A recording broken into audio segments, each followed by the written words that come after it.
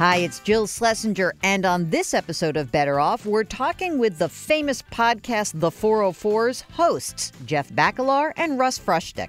a lot of the digital assistant stuff, uh, your Alexas, your Google Homes, the Echo, that kind of stuff, I think is going to play a major role uh, in people's first experience with some kind of artificial intelligence. I think Uber has a lot of baggage in terms of their brand and stuff like that. I mean, I was just in San Francisco and I literally did not use Uber once. I used Lyft the whole time. And a lot of that has to do with their brand and, and their perception that they're putting out there. And it's it's pretty gross. Welcome to the Better Off podcast, sponsored by Betterment, the largest independent online financial advisor. Okay, so here's a problem. When you book interviews and you just try to slam out a bunch of them, you can't run them all so quickly. And then some of the material becomes slightly dated. But that said, here's something kind of cool. We recorded this interview with my tech gurus. This is Russ and Jeff. And we were talking about Snap, which is the parent organization of Snapchat. And at the time, we were talking about the IPO because it was worth gazillion dollars. But then in the ensuing weeks, what has happened is that Snap shares fell below the initial public offering price. So the IPO price was 17 and shares are at about 15 and part of this is because really amazingly Morgan Stanley which was the lead underwriter of the deal meaning the bank that decides the IPO and the market value anyway the analysts from Morgan Stanley downgraded it so that doesn't really bode well and what has happened is now everyone's like, oh my God, the Snap is no longer going to be relevant because Instagram has a new thing called Instagram Stories and Facebook's going to eat their lunch and all this stuff. Meanwhile, on July 30th, the insiders of Snap, the parent of Snapchat, are actually unlocked, meaning that company insiders can sell off shares that is interesting because we're going to wait to see whether or not they do that. And if they do that, we could see Snap fall even further.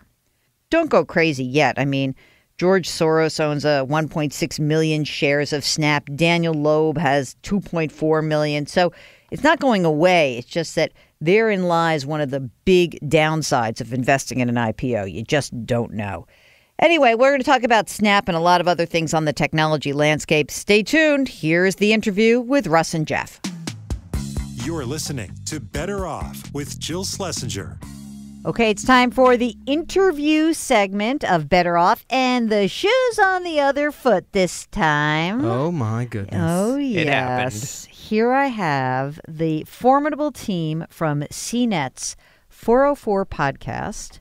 It is Mr. Jeff Bakalar, Mr. Russ Frushtick. Hello. You got that right. Were you worried about getting that I right? was because I thought I was putting extra letters Nah, in there. you crushed it.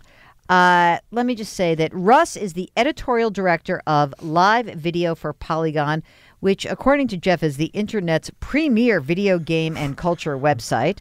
True. Thank you, Jeff is the senior editor, reviews gaming video, and look at this. He's out? also regularly featured on CBSN, the Mm-hmm. streaming product at CBS News. The 404 is the second longest Second? running podcast. Why'd you say second? It says it on the website. Get out. Let me see that. Uh, That's on what? Like on CNET? It says on CNET's podcast. What it's the second longest running podcast. No, it, no, you misread that. Oh, uh, yeah? It says the site's longest running Oh. podcast. You Oh, you need The, You need a I, new I'm wearing them. prescription. the site's longest running podcast. podcast Yeah, ever. Ever. So you've been you We've are done it. We we're the longest podcast ever. It's not just CNET. It's ever. Uh, Is that true? It's the longest running on CNET. Longest running on the internet. I'm not so sure. Yeah, I don't think so. uh, all right. You know, we start our program with a question to every interviewee. Okay. You ready? Yeah. Pressure's on. Uh oh, hit us. we have Russ- nothing prepped. What is the best financial decision you've ever made? Phew. Holy cow. Cutting deep. Stump the DJ. Now there is an answer. It could be I've never made a good financial decision. That is a possible answer. Um, best financial decision I ever made. Um, I would say, hmm, um, you know, it's weird because I feel like fi- financial decisions and mental health decisions run in, are in the same vein, and it's not always like this is better for my overall bottom line if it's better for my life. So, for example, I was I was in a job two years ago that I was absolutely miserable with. Um, the pay was great, and everything was working out great, and I basically looked at all my numbers, my savings, everything that I had. And figured out financially, I can afford to quit this job that's making me absolutely miserable. And um, yeah, haven't looked back. So, So that was a great That's a good decision. That's. I think that's an awesome decision. Thank and you know what? But but what's also striking is that you had saved money. I know Because I'm like a- if you don't have the savings, Yeah, sure. it's such a drag because you are robbed of this opportunity and you have no Mm-hmm. choice. You feel like s- ugh, I hate that feeling. Jeff, what's the best financial decision you've made so far besides listening to me for the 15 different things you've asked me about in Well, the that- last bunch of years? Those are all connected, though. Anything wise that I've done has been a, a direct result of your advice. I think that goes without saying. It has been true that there's been uh, sometimes a a call, a text, a text. a got, frantic text. got time to talk? question, Question mark, mark, question question mark, mark, question question mark. Need It's- you it's like a booty ASAP. text. What do you think? So, what do you think is the best financial decision you've made so far? Uh, mine is is pure dumb luck. Maybe not dumb luck, but the timing of it was luck. Buying the was co-op? buying Yeah. buying a condo Yeah. in, in Hoboken. in Hoboken. Yeah. Uh, at the bottom of the market. you didn't mean to, but we didn't mean to, just- but that was where we're at in life. And And, now- sometimes you, you, you cash in. and uh, and now you're moving up, Yeah. right? Yeah. that's Na- happening, right? You're buying a new house. Which maybe isn't the best time to buy a house right now. Why not? Well, it, it's the best time to sell a house, so Sure. they go hand in hand. it's Yeah. very nice to have both. yeah, All for right. sure. All right, now why am I having you guys on the show? Because uh, you are my tech gurus. And I was on the 404 and I said you got to come on the podcast and help me out and with the just the general trends. What's the thing you guys are like what do I have to know about? Hmm. Because I I don't want to pay attention to anything in technology unless you say I have to pay attention to Okay. it. Okay. All right, I got so some stuff. Here's Yeah, my me too. question for you. Is Snap worth 35 billion dollars? I I don't know. I I don't think so. Are you a Snapchatter? I used to be more active on Snapchat, but now I switched back to. Don't look at me like For I'm like crazy. six months, were you active No, on I, Snapchat? was- I would say like a year, Okay. a solid year. I was I was on the Snappies, but now Yeah. I'm back on the Insties. Oh, you're back on the gram? Yeah. Right, because uh, they pretty much copied Snapchat's uh, best feature Mhm. and did it better. Yeah. Uh, the only thing that Instagram doesn't do is the facial recognition sort of stuff, which Yeah. they'll do, I'm sure, eventually. But it, it's a better program. And I already have an, an existing relationship with Instagram, as do many people, maybe uh, not of my generation, but. What do you mean about that? What are you saying, my generation? Oh, just saying, like, you know, Snapchat is more of like a, a millennial It thing, is- and I'm yeah, on the it's younger. higher, higher, higher end of the millennial. do you just get it squeak in under the under the limit there? Yeah, know. the sand's running out. Of I that. think I'm probably right on the edge. The It depends cusp. on who I'm you ask. Depends on what demographic. And I think I'm I'm not a millennial, but I think I'm close. My wife probably is. She's 28. yeah, so. she's a millennial. I've heard 1980. I've heard 1985. I'm 82. So the rule of thumb that I've always gone by is if you were born and remember a time where the internet was not a thing, so like you didn't use it in school and stuff like that. If you remember that period of time, I don't think you're a millennial. Okay. All right. Uh, Mark, I'm not a millennial. Ha, ha, Breaking. By a nose. Breaking news. I remember dial phones. Uh, let me ask you a question about the Snap first. Yeah, second. Yeah, 'cause though. it- 'cause I- Russ, are you a user of the Snap? No, I've really, really tried. I, and so this relates to like the value of the company. I think Snap was designed very intentionally to be opaque to people that have been using the internet for a very long time and very relatively easy for kids to get into. So the really tricky thing is can Snapchat maintain this audience with kids? Kids are abandoning uh, Facebook. Facebook has become an old ground, and, and Snapchat is where kids go. But can uh, Snapchat evolve to the point where they maintain this audience in the way that like MTV has always tried to maintain the younger audience and just let the other audiences go to like VH1 and whatever?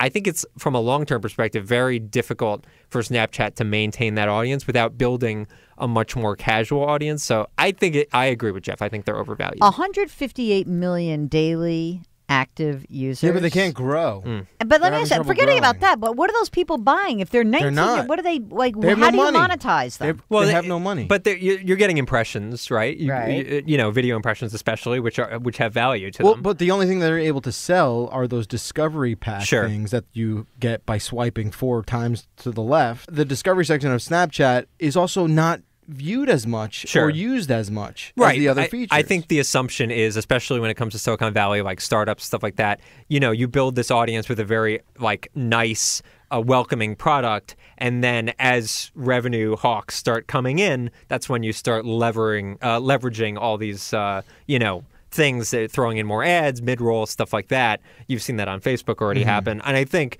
a year or two from now, Snapchat will start pushing that stuff further and further towards the front. and I- do more of like the sponsored face goggle Don't you think thing. it would be money. so much fun if the whole thing fell apart? I I, mean, mean- there would be sort of like a funny, like I mean, it's not going to. I mean, that's Twitter cor- though. Like Twitter Yeah, for but- forever Twi- was lost two thirds of its value Yeah. since the IPO. I I mean, know, it's that's crazy. insane. But but that's the thing. Twitter is a utility more than a product. Uh, Snapchat, I don't think is a utility. So that would kind of contradict my point of like them not being able to turn a profit. Mm. But I just don't. I see it more of like as a fad than an actual ecosystem the way Facebook is. what's the next new thing, guys? What do I need to know? What's the next thing I'm not going to use? You're talking about like an app? Yeah.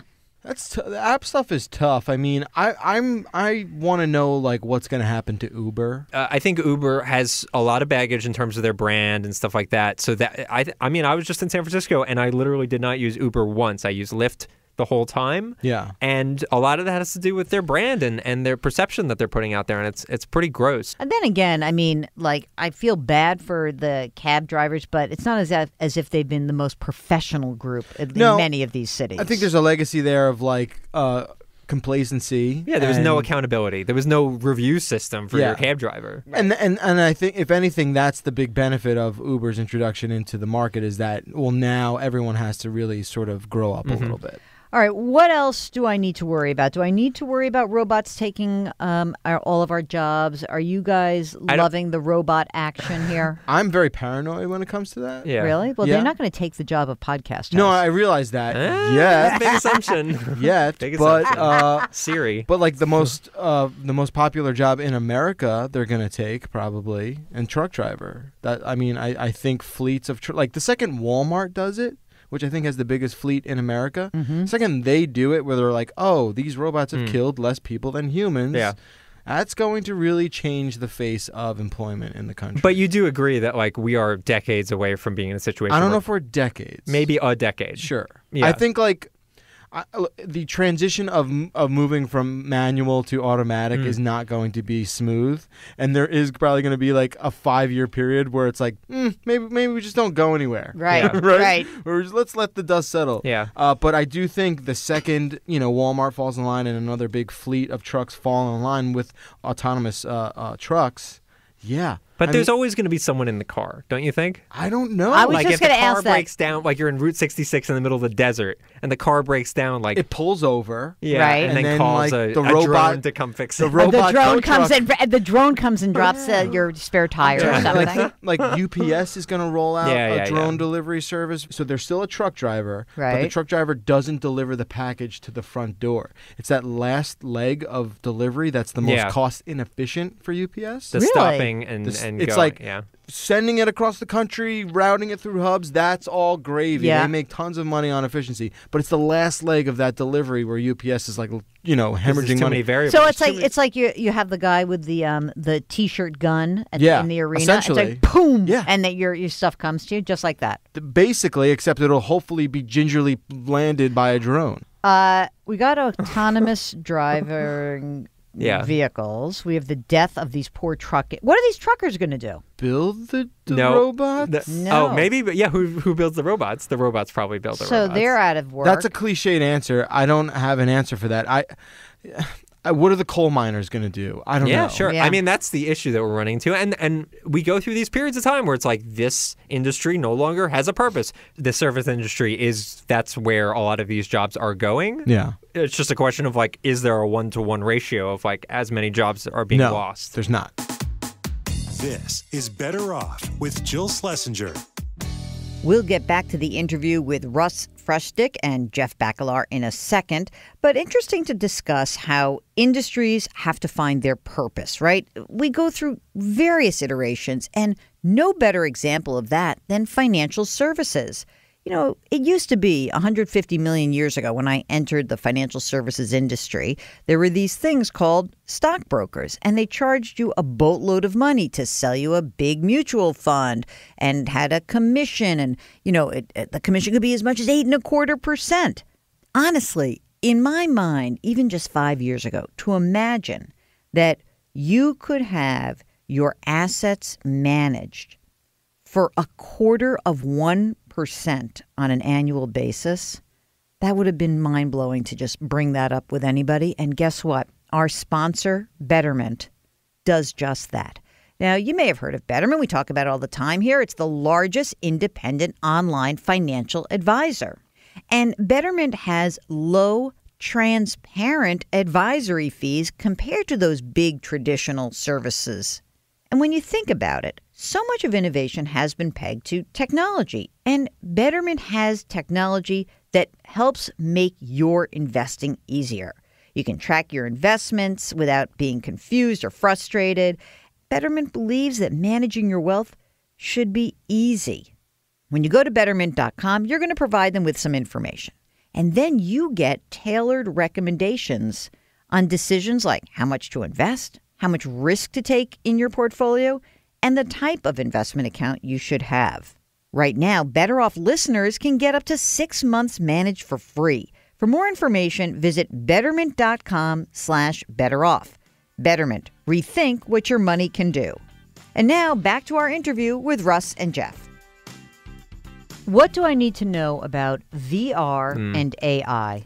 Check whoa, out. whoa, why did you say well, those two don't really go hand in hand? I you mean AR? know, because I like to no artificial intelligence. Okay. and virtual reality? And virtual reality. Those are two completely different. I know. What do I need to know about each of Which them? Let's start. Let's do uh, VR. Okay, so Okay. so VR, right?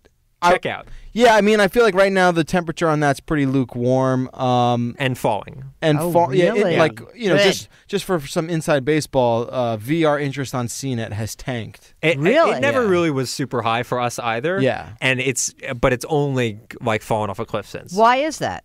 Uh, I think it's because so many people get the idea of it, they've seen videos of it, but they aren't willing to buy the hardware. And at this point, they're just like, well, okay, I get it. It's like not a world changing thing like everyone thought it was going to be. I love it. I think it's super cool.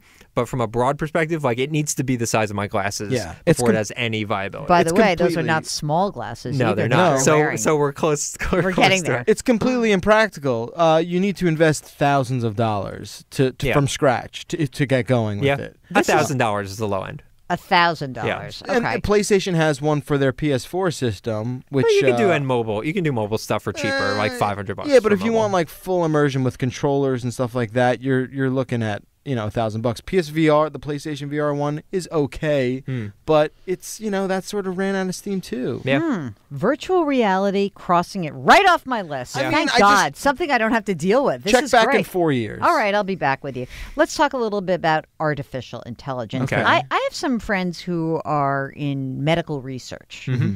And they talk a lot about the application of AI in medicine as Sure. being like the coolest freaking Sure. thing. Or as my friend says, this is how radiologists are going to go out of business Mm-hmm. or like that like it's really sort of a like an amazing thing that that they're starting to see already the investment in artificial intelligence to enhance what human beings do. I, I for the radiologists out there, relax. I'm not. I'm just kidding. But but that plays into the same conversation we had about robots Yep. and, and au- au- automation.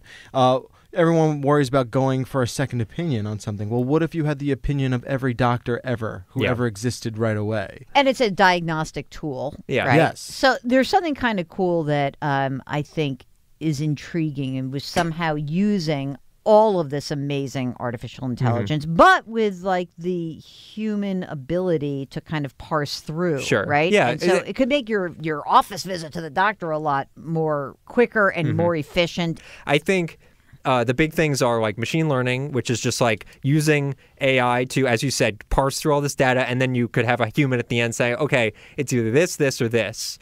Um, and also for sur- the implication on surgery is crazy. Um, having you know s- uh, human guided, but still effectively they were already using this, but effectively you have AI controlling a scalpel in an incredibly detailed procedure where a human could never ever do that. I mean, laser eye surgery already uses stuff like this. So like they're absolutely right. The implications for medicine are are crazy. What about other areas, Jeff? Um, I think home automation stuff is going to be the most practical thing that people are exposed to in the immediate future. Um, you kind of have to dictate how much of your life and home is going to in, you know involve that. But I think a lot of the digital assistant stuff, uh, your Alexas, your Google Homes, the Echo, that kind of stuff, I think is going to play a major role uh, in people's first experience with some kind of artificial intelligence. It's, it's approachable, it's accessible, surface level stuff, but it's still impressive tech. Are you a Siri, Alexa kind of household? Not yet. When I get a house, I'll probably wire that baby up. What about we, you, We have an Echo. Yeah. So that's the Alexa. And? and I love it. I think it's great. Uh, it's I don't want her talking to me. I well, got like, don't a lot talk of to her. in my head. She won't Yeah. talk to you if you don't talk to her. so, so how, tell me how you use it on sure. a day-to-day so, basis. so I use it day to day. Like I'm leaving the house, I'm like getting breakfast and whatever, and I can just say Alexa, "What's the weather?" and I'll get the weather. Uh, so I do that. I uh, say like, uh, you know, I'll have uh, Alexa play Spotify for me. Um, there's a lot of stuff that like I would do if I wasn't like on the couch and relaxing and my phone's far away from me and I'm being lazy. So I can just like cue up music or whatever. I don't do the whole thing where like the lights turn on. And, like you could But you go to that extent if you wanted to. You no, no more clapper. Yeah, you just say Alexa, I'm home or whatever. Alexa, water the lawn. Yeah. Alexa, You could do that stuff. Maybe you can. I'm sure there. So that's the cool thing is that it's open. It's kind of open source. Yeah. So people who make smart things like appliances and other junk for your house, they can talk to Alexa. So she can learn, like it's a person. She can learn these things called skills. Yep. Like the CNET news skill, Yeah. which will play my voice. Just Jeff. I could so I could just say the name should- and Jeff appears before no, me I'm like serious. Genie. Like the thing I, I record something for CNET every day that goes to a, to Yeah. Echo. There's a Jeopardy app, a skill which is very cool. You can listen to all the Jeopardy questions from the day before and All try of to answer them? them. I think it's all of them. Wow. wow. On one hand, I'm sort of thrilled, and on the other hand, I'm sort of frightened. Eh, what I are you think- afraid of? I don't know. People I'm listening? old. I don't know. I guess I'm like I feel like it's sort of intrus- intrusive in one way. Except you're right. You control it. Yeah, you, Um, you get what you I put feel like into it's it. like you can sort of be really lazy, and I'm already Oh, lazy. yeah. You You're could not, definitely. know? You're not lazy. You're Well- up every morning at 3 a.m. I know, You're but not- I'm just saying that, like, you know, I could be, I could ride that couch. I'm sure you can. Siri, Alexa, Jeff, could you play me the next thing on? I wouldn't even have to hit the next episode it. button. It would just go. I just find that there are instances where, like music, for example, I, I'm oh, at home relaxing. I was like, oh, I could listen to some, some music, and then it would like leave my mind. And I wouldn't think about it. But because it's so easy, I can like do that and be on to doing other things. It's, it makes me more productive. will Will either Siri or Alexa cook dinner for me? Not yet. That but would be we'll order you Domino's if Yeah. that's, That's your thing. oh, easily ordered. Uh, I just want you to see Mark grimacing. Uh, What a world! He is so old fashioned. So You- he's very. Mark's a luddite. he's a total. Was it the Luddite. Domino's that put him off? I don't Domino's know. First of all, everyone. Domino's would put him off anyway. Yeah. He's Italian American. Yeah, so come on. He's the guy who like runs around Times Square yelling at people who are in the Olive Garden. Oh, you're wasting- you're wasting he your says, time. He'll say to them, he says, "You are in New York. Have pizza for God's Yeah. sakes." Yeah, you're wasting your time, Mark. All right. Before we finish up, let's have a little homage to Apple. Okay. So here, remember when I went from a four to a six, and you guys laughed at me? Yeah, because Yeah, you waited sure. way too long. Wait till. Do I have to What is that? That's a six? six? Okay. Do I have to You're go to an eight?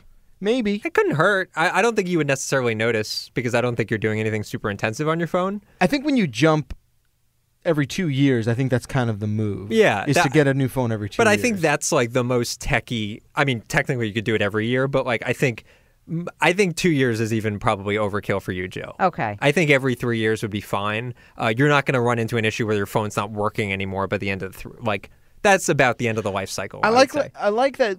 Lately, I don't know when it happened, but like you can get by now with like the last three iPhones. Yeah. like you can have That's a pretty five good, right? and be okay. Even a 4S is probably okay right now. Yeah, I don't know. maybe You might struggling start- a little yeah. bit, but like you can kind of make it work with a with an iPhone five. Uh, you know what's interesting? Uh, I am addicted to it. Remember when Jeff and I said to you, "Should I get an Android?" When Mm-hmm. I was going to get this, and you're like, "Nah." Yeah, I I mean I use an Android and I told you not. to. You did. You did. Um, all right, you ready for your last question here? yeah, I'm nervous. You went from the beginning. We said your best financial decision.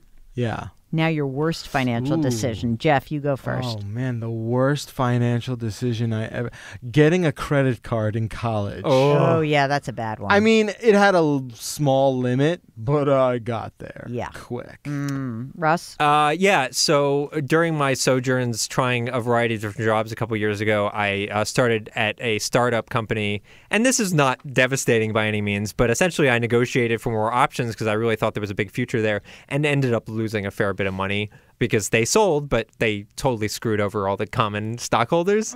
So, I, again, not devastating. I've never been like crushed by a fin- financial decision, but like frustrating. You know, that sucks.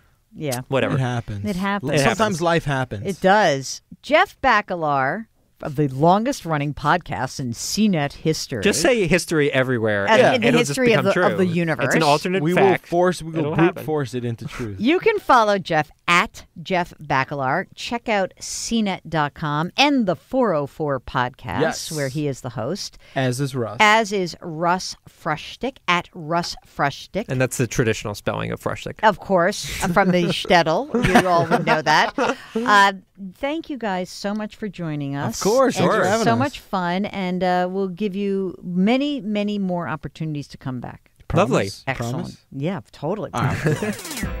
You're listening to Better Off with Jill Schlesinger. Okay, it's time for the listener question of the week. Now, remember, you've got two chances every week to get on the air here at Better Off. On Tuesdays, we do the Better Off bonus call of the week. Then we do this portion on our longer show, which drops on Thursdays. You have a number of ways to get in touch with us. You can email us, ask Jill at betteroffpodcast.com. You can always tweet your question at Jill on Money, hashtag Better Off. Right now, we are going to talk to Yoni, who's on the line from New York City. Hey, Yoni, welcome to Better Off. What can I do for you?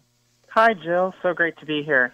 So, I uh, work for a small business, and I've been trying to figure out ways to save for retirement. I'm 27, and uh, I grew up in New York City. I don't have any student debt, thank God, but I do have a mortgage. And um, because I work for such a small business, they don't offer any retirement benefits. Now, I do teach part time at uh, the City University of New York, which offers a 403b benefit. So I actually contribute about half of my earnings from my teaching towards a 403b, and I'm also maxing out a Roth IRA every year. But when I add all that up, and uh, it still doesn't really reach the goal that I'm trying to get for retirement, which I've read should be about 15% of my gross income. And I'm wondering if there are any other ways I could save for retirement and or save generally that would be um, ideally structured. Uh, Yoni, could you put more than 50% of those earnings into the 403b? Yes, I technically could, but um, I thought about doing that because I originally started doing just a 3rd and then I went to half this semester. Um, I can go up to the full amount, which would just get me there, but I don't know, like mentally, if I could go in and teach. You know, um, three hours a week at night, and then not not see any difference in my checking account. wait a minute, wait a minute. But do you need the money to? I mean, because there's two questions. One is, you know, could you do it? So now we know, yes, you could. But the second question is, do you need the cash flow? In other words, if that money goes, if that were diverted into retirement savings, w- would you miss it? Would it be tight for you to make your monthly bills? No, it wouldn't. Honestly, it wouldn't. Um, All right, then I- here's the deal. yeah. All right, I know you're going to hate me for this. You know what I'm going to say. You should, I mean, look, if you really want to do that get that that retirement savings pumping and get going, then yeah, put it into the 403b because it's not, you know, you've got to shift your mindset a little bit. It's not that you're working for free, it's that oh my god, how great is this? I am working and with the government's help I am reaching my retirement goals. As long as you don't need the money for cash flow, if you really do want to crank on your retirement savings, that's the way to do it. If, you know, because otherwise we're sort of playing kabuki here, right? Because the other choice would be, okay, well, maybe you don't do that and you take your 15 shekels that you make after tax that, you know, you're earning that's not going into your 403b and then you let the government tax it and then you invest it in some non-retirement account. I mean, it's really not the most efficient way to get what you Right. want. I think that if you can just reframe it to yourself, then I think you're in better shape. And I think you know the answer to this, which is why I think it's adorable that you called me because I think you knew all along that I was going to be like, mean old Aunt Jill is telling me, you know, to do this. But I, I really, I think you know the answer to this. And um, so I am going to reiterate what I think you already know, which is put the money into the 403b, get your retirement savings up, and unless you really need that money to live on, that is the smartest way for you to proceed. Well, thank you very much for the hard truth talk. Um, I was wondering if you think my goal is appropriate, if that 15% mark is the right goal to have. You know, look, I always say the right goal is as much as you can possibly bear. Um, At 15% in your late 20s is a great goal. Frankly, if we could get more and more 20 somethings putting at least 15% in, we would probably eradicate the retirement savings crisis in the United States. So I think you're right in it. It's great. You don't have debt. This is the time to do it. You know, in terms of, you you know, you've got a mortgage, right? So you own an apartment. Yeah. Um, and and so life's pretty good. It sounds to me like you really are in a place where you can do this, so you should. I think so. I know. Hold your nose and do it. Thanks. And I Uh, was um, wondering if you had any advice about approaching um, my employer about offering retirement benefits. I mean, look, how many people work in the in the organization? We are two employees plus the owner. Yeah, Tiny. it's that's tiny. I know it's tough. Uh, well, I mean, how? Do, I guess the question is to ask: i- Is the is the owner a young person like you? No, she has. She founded the business about 30 years ago. Really? So how does Mm-hmm. she save for retirement? I wonder. That's a good question. She doesn't retire. I think is the trick. Oh God. Um, you know, there are easier ways for her to set up a retirement account that um, she might be interested in, and something um, you know that she could potentially try to do a simple IRA, which is um, might want to investigate that and you know see if she could be interested in that. Some small businesses, what they'll do is the owner will do is say, "Look, I, I don't want to deal with a retirement plan, but I'll pay you really well, and so you can hmm. go do your own." So Right. maybe there's a case to be made that, in fact, you know, look, we don't have a retirement. Do you have do you have health insurance? no, wow. So you got your health insurance through your partner? no. I went on bought on the exchanges. Oh, okay. All right. Good. You know, it, it would be nice if she could do a little bit more um, in terms of retirement. So maybe it's a maybe it's a way that you think about even your own compensation. That you know Mm-hmm. that how much it's costing you to buy your health insurance, and you know that you're putting money away, and that you know maybe this is something you use as a a way of negotiating a higher salary. Yeah, absolutely. Good luck to you, Mr. Yoni. you very and Thank you so much for calling and. Um, hold that nose and put that money into retirement, okay? Thank you very much, Jill. I think I will. Thanks so much to Russ and Jeff for joining us on the program today. Don't forget, we've got our bonus episode that comes out on Tuesdays and the longer form every single Thursday. You can subscribe via iTunes or wherever you get your podcasts. If you have any questions or suggestions, you can find me on Twitter. My handle is at Jill on Money. That's at Jill on Money. Just use the hashtag BetterOff. You can also reach me via email. Ask Jill at betteroffpodcast.com. That's Ask Jill at betteroffpodcast.com. And if you wouldn't mind, please leave us a review or a rating in iTunes. It really will help us out. Better Off is sponsored by Betterment. Our music is composed by Joel Goodman. Mark Talercio produces. I'm Jill Schlesinger. See you next week.